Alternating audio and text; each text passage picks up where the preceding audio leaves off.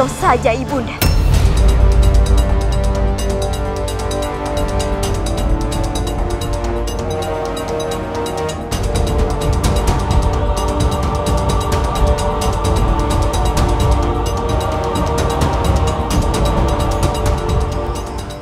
Maafkan aku, Nimas. Ibundamu, Ratu Subang Larang, tidak bersalah.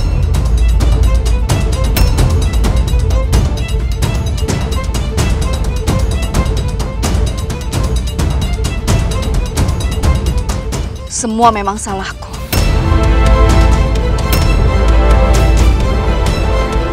Bukan ibundamu yang memiliki racun itu.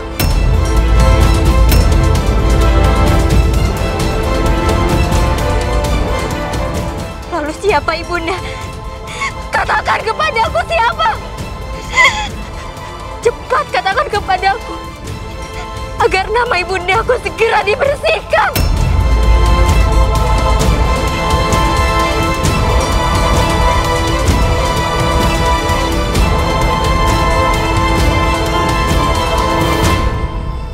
Nanti akan aku jelaskan pada Gusti Prabu. Dan aku juga berjanji akan mengembalikan nama baik ibundamu.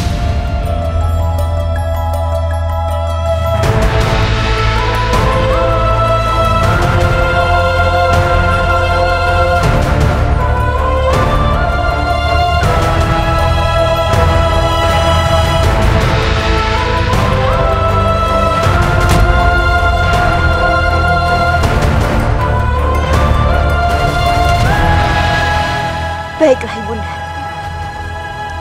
Sekarang kita kembali ke Pajajaran.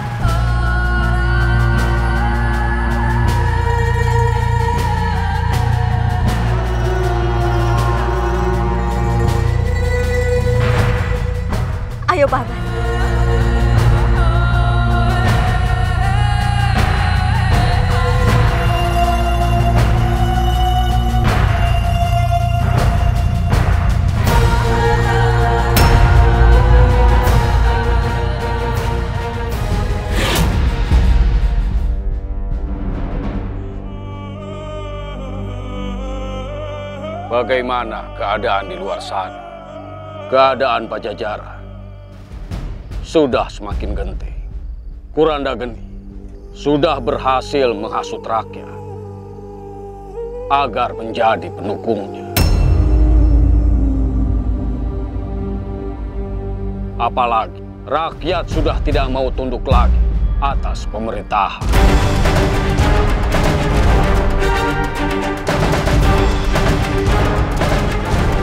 Jagat Dewa Batara, keadaan Pajajaran semakin genting.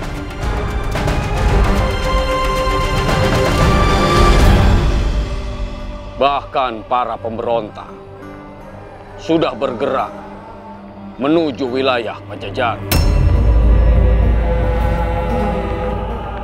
Untuk itu, Pajajaran harus bersiap untuk menyambut serangan mereka.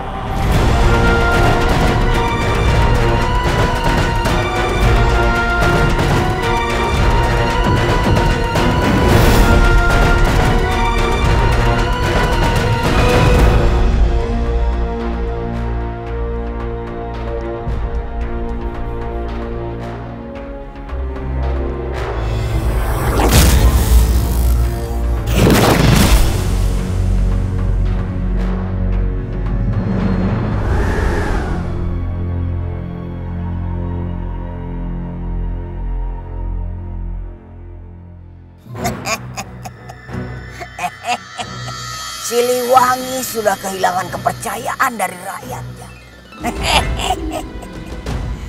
Kondisi Pajajaran sekarang ini sedang lemah-lemahnya. Kita harus segera menyusun penyerbuan ini sebelum Siliwangi menyusun kekuatan baru. Benar Rangga Buana. Tidak ada waktu yang lebih tepat selain hari ini. Dengan penyerbuan besar-besaran, Pajajaran akan jatuh dalam satu hari. Kalian sebagai senopati, segera susun rencana penyerbuan ini. Baiklah, Nyai. Aku setuju. kita akan menyerang Pajajar dari segala penjuru. Lebih baik sekarang kita harus mengumpulkan para pendekar dan adipati untuk membagi tugas penyerbuan ini. Siliwangi, nikmatilah hari-hari kehancuran.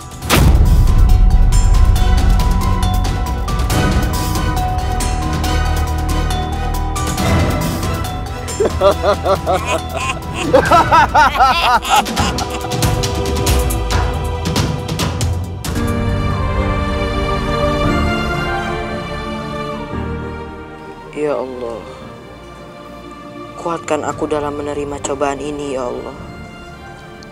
Saat aku tak punya kekuatan seperti ini, aku harus terpisah dari kawal susah. Kini, aku juga akan dijual sebagai budak. Sesungguhnya, aku hanya memohon padamu, ya Allah. Berikan hamba kekuatan dan kemudahan dalam melewati cobaan ini, ya Allah.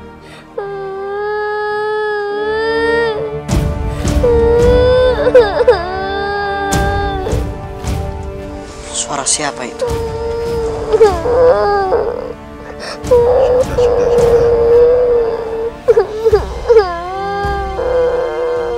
Sudahlah, Neng.